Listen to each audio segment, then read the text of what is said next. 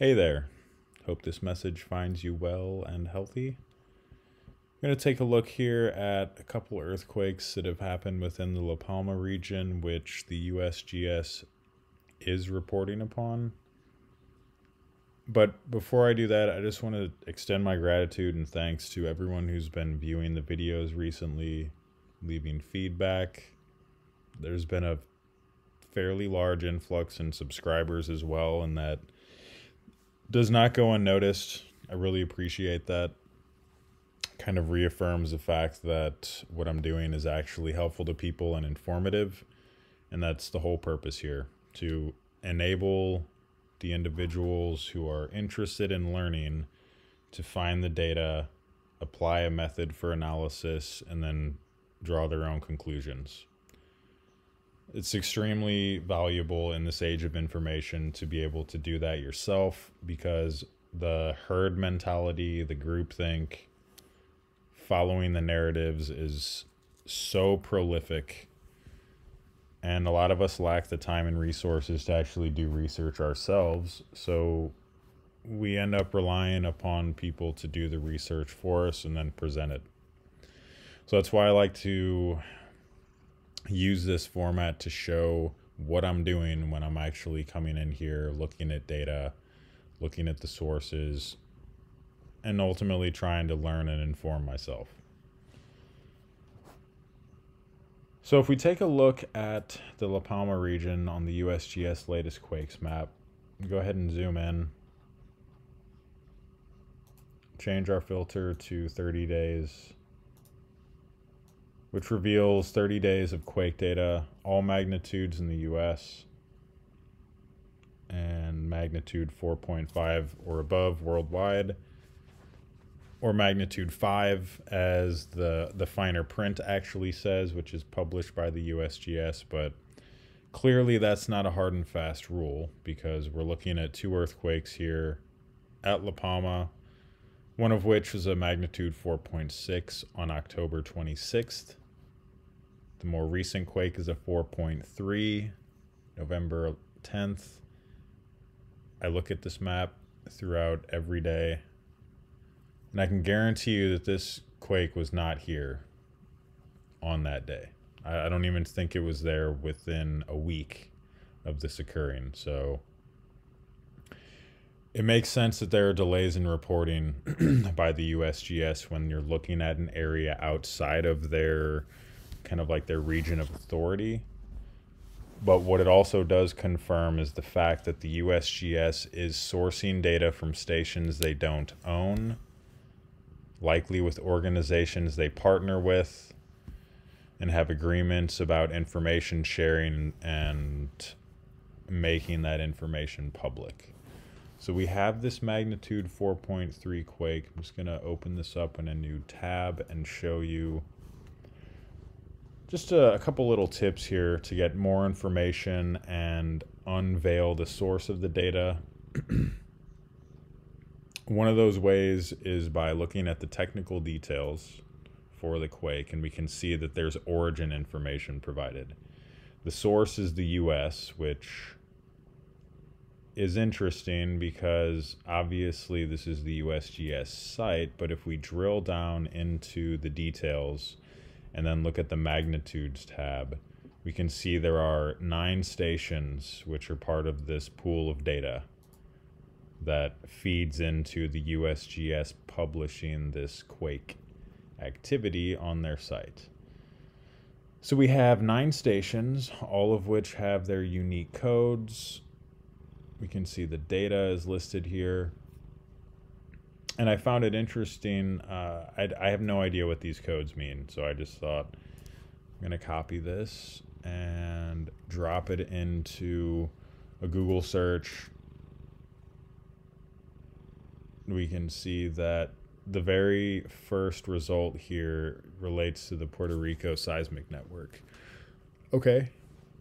Puerto, we- Puerto Rico is technically part of the United States, so that would fall within the scope of what the USGS, I guess, considers an authority.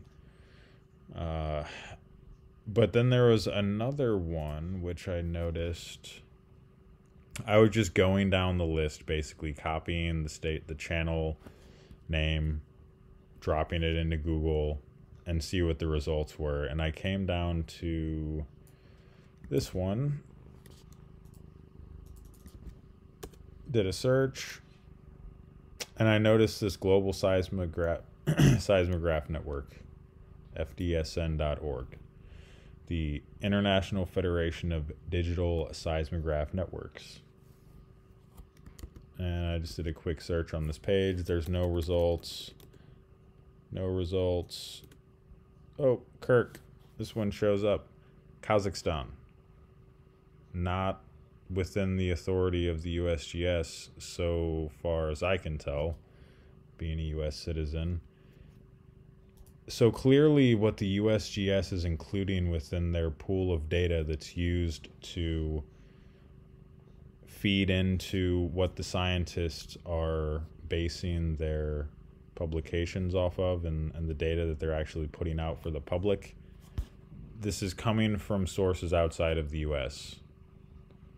So what that tells me is the United States has agreements with these outside organizations in order to source data and then reference it whenever they're posting activities on the latest activity map. An interesting thing to note here is why not source the data from the IGN? Perhaps there is some underlying issue in the relationship between the USGS and the IGN I'm not entirely sure, but anyone who's been following the earthquake activity around the Canary Islands recently knows that, well, look, less than three and a half hours ago, there was a 4.7, and it had one felt report. This is a fairly significant quake, and there have, has been activity like this essentially every single day for quite some time. Obviously, there's days when we don't see that level of activity, but we had a 4.7, there was a 4.3. I like to just sort by the region, and then you can see the full list of everything within like the past. I don't know if it's eight hours is the threshold for this particular page, this filter that's being displayed. It's just the the default earthquakes for Europe as reported by EMSC. But they're getting this from IGN. They do a little bit of data scrubbing, as I explained in the grid effect video, where they shave off two of the decimals, resulting in the grid effect. I just don't quite understand why we don't see more of these quakes reported and I'm not saying it's anything devious or anything conspiratorial. It could just very well be they don't have the resources to go through and analyze the data and then publish it. Because, again, I guarantee you that this quake did not appear anywhere near when it actually occurred. So, what that tells me is most likely the resources the USGS has in order to inspect, review, publish the data is likely limited and they're not going to be reporting stuff immediately. And they talk about that a little bit if you look at the the read more link here under earthquakes. I won't get into that now. We've looked at that before. But feel free to come take a look. You know, if anyone has doubts about this, the data is here. It's available. Speculation is it's a risky game. There's always some sort of conspiracy theory that someone can come up with, but at the end of the day, the USGS says that they cannot reliably report outside of their region. They do get information from other sources. That's extremely clear, and we've proven that. But uh, I just don't understand why the gap with the IGN? Why, especially considering the situation there, you've got scientists in the region saying this is a completely unpredictable situation. They're warning the people to not become normalized to the fact that these earthquakes are happening on a regular basis. And, uh, you know, if the USGS is going to report on a global scale, then why not take that extra step and maybe focus some resources on an area that's seen a devastating event right now. We're seeing people displaced, we're seeing people evacuated. The banana plantations are a huge part of La Palma and they are being destroyed. It's just what we're seeing here at La Palma with the volcano and the seismic activity is I've never really witnessed anything like that in my life. Maybe that's just you know all the technology that we have now, the ability ability to do live streaming from the island and all the active reporting from folks like Bushcraft Bear. It just changes the game. So